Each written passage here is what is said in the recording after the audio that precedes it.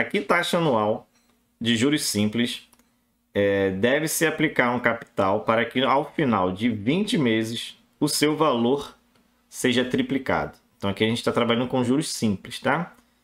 Então, primeira coisa, né? Vamos pegar os dados importantes aí. Ao final de 20 meses, então esse daqui é o tempo, certo? 20 meses.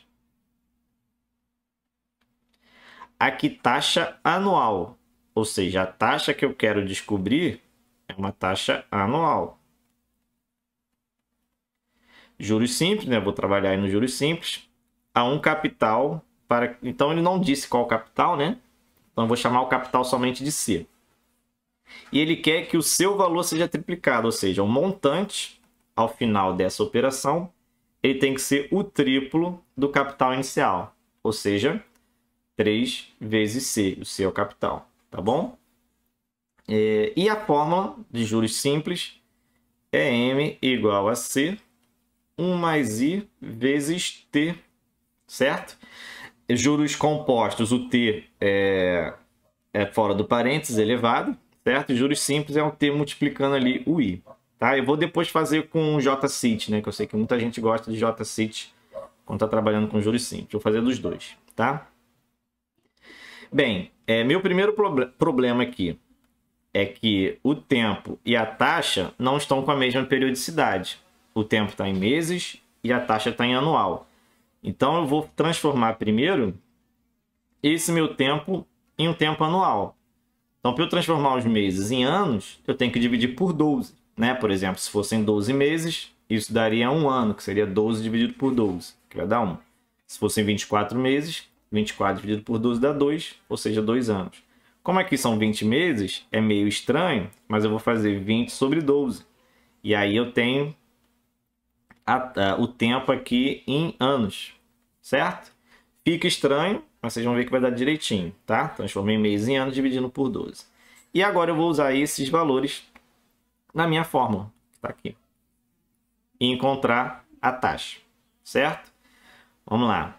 É, então, o montante, que é 3C, vai ser igual ao capital, que é C. 1 mais I, a taxa que eu quero descobrir, vezes o tempo, que é 20 sobre 12, que agora está anual. Esse C que está aqui, eu vou passar para a direita dividindo. Então, vou ficar com 3C sobre C igual a 1 mais 20i sobre 12. Certo? Tirei parênteses, que eu não preciso mais, porque o C foi para o outro lado. Esse C com esse C vai embora. Então, vai sobrar somente o 3 aqui, né? À esquerda. Esse 1 vou passar para o outro lado, menos 1 igual a 20i sobre 12. Certo? Vou pegar aqui para o lado. 3 menos 1 né? vai dar 2. Igual a 20i sobre 12. Certo? O que, que eu faço agora para descobrir o i? Eu multiplico o cruzado. Né? Esse 2 aqui é número inteiro, é 2 sobre 1. Então, eu vou ter aqui 24 igual a 20i. Ou seja, 24 sobre 20 é igual a i. O que, que eu posso fazer? Posso dividir por 2, né? Em cima e embaixo. Para simplificar minha vida. Então, eu vou ter i igual a 12 sobre 10, certo? Dividir por 2 em cima e embaixo.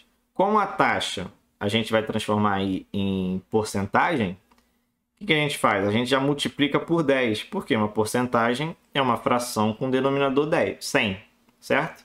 Então, quando eu multiplicar por 10, o meu denominador vai ficar 100. Em cima vai dar 12 vezes 10, que é 120. Ou seja, quase que eu cubro ali com a câmera. 120%. Então, a solução, 120%. Letra D de dado. Tá? Se eu quisesse fazer esse mesmo problema com JCIT, né, que eu sei que muita gente gosta de JCIT, o que, que eu teria que tomar cuidado? Né? O tempo seria o mesmo, 20 sobre 12. 20 sobre 12. É, eu não trabalharia com montante, eu trabalharia agora com juros, certo? Se eu quero que o meu é, dinheiro triplique, eu quero que o meu juros seja o dobro do capital inicial, né? Esse é o cuidado que a gente deveria ter, é o dobro do capital inicial. Então, quando eu for aplicar o JCIT, essa seria a diferença. Ao invés de trabalhar com 3 Eu trabalharia com 2C.